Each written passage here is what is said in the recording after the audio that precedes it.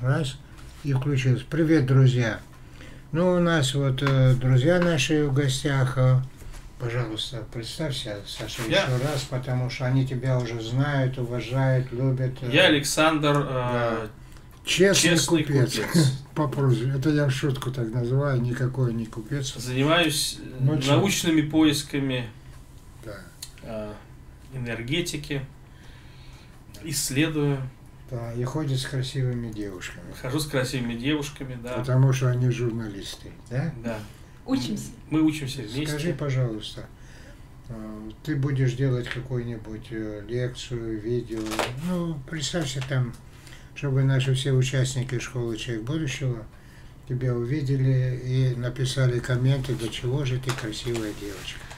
Меня зовут Наталья. Да, Я вместе с Александром учусь на журналистов. Да.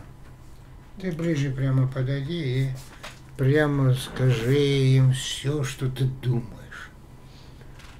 Сейчас мы будем рисовать. Я думаю, Да, во, вот молодец. это самое главное. Да. А потом мы вам покажем, что мы нарисовали. Почему? Потому что вот эту картину мы должны довести до шедевра. Саша, покажи немножечко.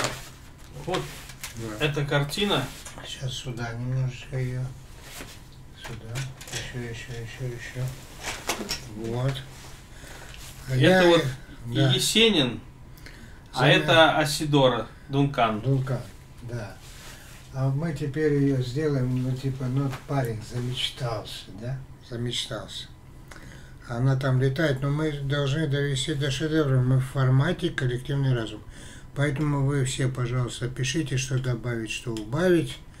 Пожела- пожелайте нам всем творческого счастья, и мы сейчас будем работать. А потом покажем в следующем ролике, что из этого получилось. Пишите комменты, друзья. До встречи.